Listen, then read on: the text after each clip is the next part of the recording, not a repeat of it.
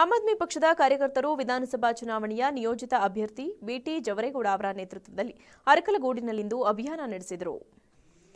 ಈ ಸಂದರ್ಭದಲ್ಲಿ ಜವರೇಗೌಡ ಮಾತನಾಡಿ, ಎಎಪಿ ಪಕ್ಷವು ದೆಹಲಿ, ಪಂಜಾಬ್ ರಾಜ್ಯಗಳಲ್ಲಿ ಅಧಿಕಾರಕ್ಕೆ ಬಂದಿದ್ದು ಉತ್ತಮ ಆಡಳಿತ ನಡೆಸುತ್ತಿದೆ. ಭ್ರಷ್ಟಾಚಾರವನ್ನ ಬೇರು ಸಹಿತ ಕಿತ್ತೊಗೆದು ಜನಪರ ಆಡಳಿತ ನೀಡುವುದೇ ಪಕ್ಷದ ಗುರಿಯಾಗಿದೆ. ನನ್ನನ್ನ ಅರಕಲಗೂಡು ವಿಧಾನಸಭಾ ಕ್ಷೇತ್ರಕ್ಕೆ ಪಕ್ಷದ ಅಭ್ಯರ್ಥಿಯಾಗಿ ನಿಯೋಜಿಸಿದ್ದು ಮತದಾರರು ಬೆಂಬಲಿಸುವಂತೆ ಮನವಿ ಮಾಡಿದರು. ನಾನು ಬಸವನಹಳ್ಳಿ ಗ್ರಾಮದ ವಾಸಿಯಾಗಿದ್ದು ಅರ್ಕಗಲೋಡು ಕ್ಷೇತ್ರದ ಇಪ್ಪತ್ತು ಇಪ್ಪತ್ತ್ಮೂರರ ಚುನಾವಣೆಗೆ ಸ್ಪರ್ಧಿಸಲಿದ್ದೇನೆ. ನನ್ನನ್ನು ಅಮ್ಮ ಆದ್ಮಿ ಪಾರ್ಟಿಯು ಗುರುತಿಸಿ ನನಗೆ ಆಕಾಂಕ್ಷಿಯಾಗಿ ಕೆಲಸ ಮಾಡಲು ಆದೇಶ ನೀಡಿದೆ. ಅದರಂತೆ ಈ ದಿನ ಪಕ್ಷ ಪಕ್ಷೇ ಪರಿಹಾರ ಎಂಬ ಅಭಿಯಾನವನ್ನು ಪ್ರಾರಂಭಿಸಿದ್ದೇವೆ. ಅದರಲ್ಲಿ ನಾವು ಭ್ರಷ್ಟಾಚಾರ ನಿರ್ಮೂಲನೆ